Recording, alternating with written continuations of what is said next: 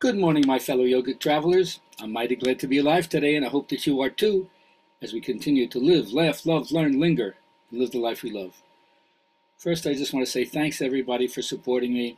Uh, I'm having such fun, getting an opportunity to do this and um, share with you things that are important to me, and I hope that make connections with you. Uh, I'm always available for any uh, yoga advice. If you're having trouble with a pose or yoga philosophy, I'm open to people coming in, sharing yoga with me. Um, still taking a private or two at my house. Love to see anybody who wants to reach out to me. Anyway, keep those cards and letters coming. I love it. It's Thursday. Oh, story day. One of my favorite stories. You know, it's so true. Um, this guy went to um, a psychiatrist because he was so severely depressed. He had such a sad story that he wanted to tell the doctor. But before he could, the doctor said, no, wait a second. I don't even need to hear the details. Let me help you this way. There's a circus in town.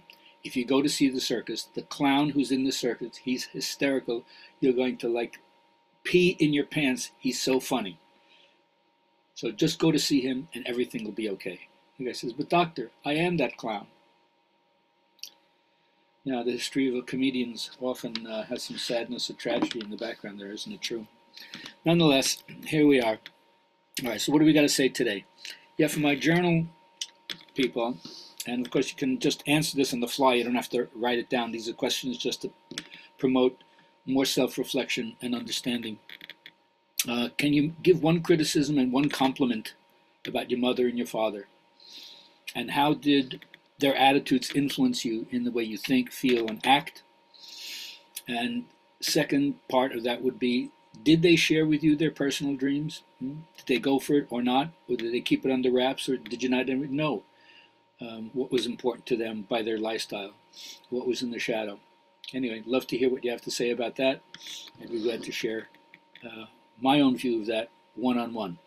All right, thank you. Now, um, just remind you don't slump. When you slump down, right, slouching acts like a dope to the body. Flint of awareness as soon as you lift your chest, but not only that, it opens up your diaphragm. Don't just take your diaphragm up vertically. Spread your diaphragm laterally. That takes so much pressure off your brain. That's why we teach Setu Bandha for those of you who know what I'm talking about when I'm doing like a yoga shop talk. So Setu Bandha, very, very important. But release your diaphragm so you can relax the tension in your brain. All right. Um, so many people are restless. Their attitudes walking around like they're smoking cigarettes, you know, counting 10 not to get angry, trying to keep cool, but compulsively they're kind of in denial about how angry or how pissed they are. So first thing is, as yoga student, don't be hypocritical. Don't try to pretend you're further along than you are. There's a lot of things that get me angry. All the things I don't indulge in it. I just watch it arise and try to channel it in, in healthy ways. Um, and remember, I'm subject to more suffering in the sleepy state. So it's it's beneficial to me to pay attention to these things not all thoughts pertain to reality. Not all thoughts are one that you want to act on. So you're supposed to be aware of them before you choose to give in to them or indulge in them, you could say. Now, one of the things about trusting yourself is that the energy to do what you need to is in the situation itself. So then you become, you could say, brave. The world is a scary place and sometimes dangerous, but we're up to it. Fearless doesn't mean not having any fear. It means recognizing your fear and going ahead anyway. And a lot of times, the acronym false evidence appearing real, you don't have to be afraid of that. So be aware of that. So um, I recommend having a teacher. It may not be as deep in the Indian tradition as having a guru, where they say the guru is like a fire. If you get too close, you get burned. If you're too far away, you don't get enough how you regulate your relationship to your teacher or the teaching so that cooks you, but in some way it doesn't make you get lost in it as like a fundamentalist. So, whatever it is that is your guru or your path, surrender to it. Offer all your vital and juicy parts to it. Because when you give life to life, life attracts life. Following your own dream is a treasure, and that treasure will attract more life to you if you're willing to follow it. So submit to that. because there's some kind of fate, some kind of destiny pulling the thread of you through so you can manifest that gift that you have inside yourself.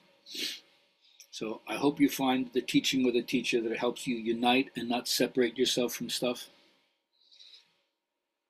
And then everything starts to make sense all along the way.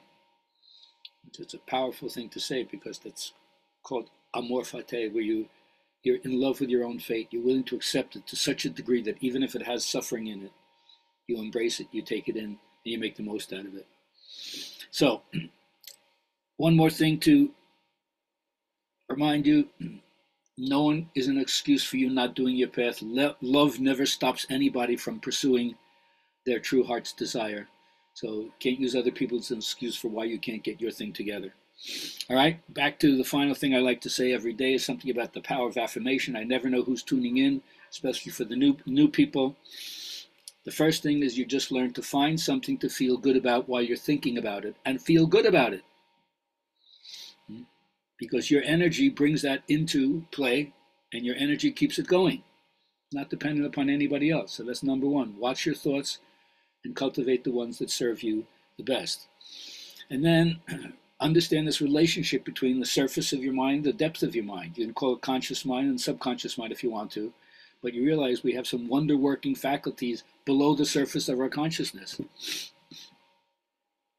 So if you turn your requests over to your inner mind with faith and expectancy, and of course always follow up on it, that part of our mind has ways we know, know not of. It's pretty smart, and it responds according to our request. So release your request with faith and confidence, and surely, implicitly, in the law of attraction, that which is like unto itself is drawn. It's going to pull something into your life to help you manifest that. That's why they say what you're seeking is seeking you. You're one with it. So accept it, claim success is yours, and you're going to see that your faith and conviction in it will cause a subconscious compulsion to will it to be and manifest in your daily life. Have a great day.